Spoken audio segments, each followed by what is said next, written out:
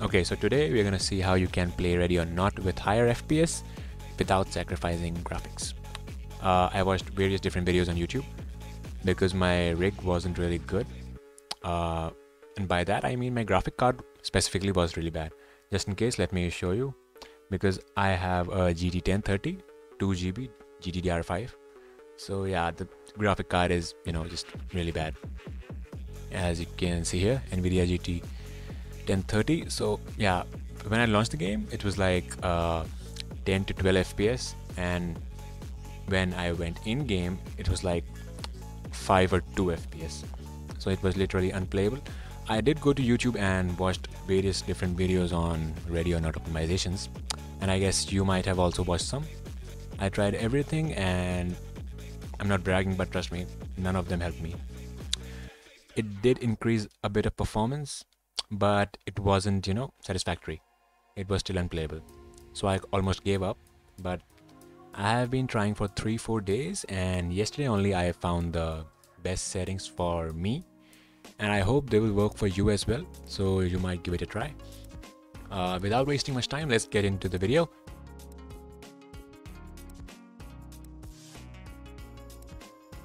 Okay uh, the first thing is obviously go to your web browser and the link will be in the description obviously. Uh, if you have watched other videos you might know because even they have shown downloading this DLSS update thing.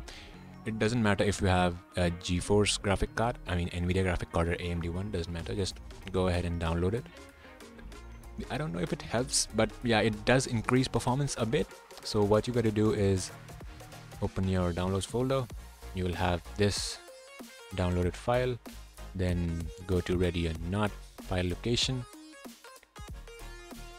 Ready or not plugins dlss binaries third party 64 and here just keep a backup of this file.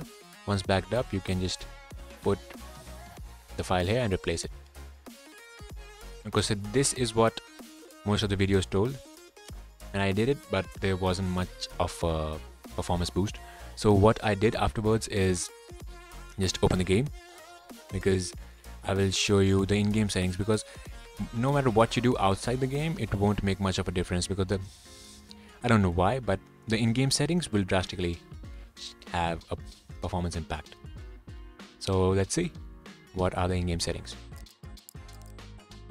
Okay so let's go to settings and you can see the, on the graphics the option is custom because okay wait let's wait a minute let me just explain.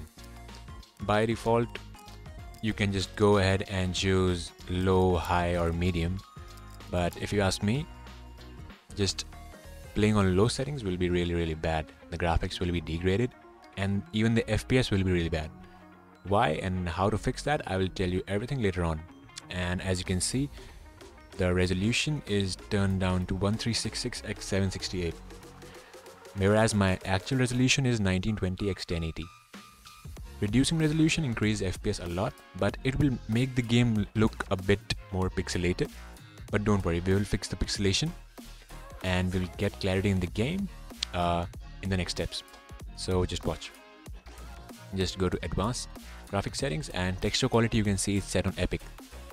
I mean for more FPS for better performance you might think that it should be low not only the texture quality but everything all the settings should be low but you can see texture set uh, texture settings are set to epic and post processing is set to medium and anti-aliasing is set to epic. Why? Uh, it is said that anti-aliasing does have a performance impact but trust me i set it from low to epic. I didn't see much of a difference. I mean it might have a difference in the performance but i didn't see any drop in the performance. But by the way just keep these settings and i will show you the gameplay and how it plays out with the combination of settings that I have shown. So epic, low, medium. Now just uncheck all these boxes. You might turn on VSync. You can just turn it off and on and see what's fit for you because sometimes capping the FPS for lower end PCs is helpful, but obviously you can try it out whether you should turn it on or off. You can just try it on your own. But for me, I have kept it off and under FSR quality you just have to set it to performance. By default it may be off so just drag it all the way to performance. And nvidia reflex low latency that's your choice. You can go ahead and choose on plus boost but i have disabled it. Apply settings. And let's go into the game. You can see the game doesn't look really bad because if you change any of these settings like if you turn down anti-aliasing the game will be pixelated because the resolution is already reduced. And texture quality set to epic. If you set it low medium or even high the game looks really bad. And what the game will look like i will show you in a moment. Just wait. First of all let's see how the game plays out. You can have a look at the fps the fps will be somewhat around 30 to 45 or 60 mostly. Sometimes the fps may go up to 110 or 120 as in my case. And you can see right now the tattoos on the hand and the gun and the gloves look clear. Whereas if you turn down anti-aliasing you will see a gray glove no detail and a gray gun without any details on it. And even the tattoo on the hand will look like just a black smudge and let me show you how it looks.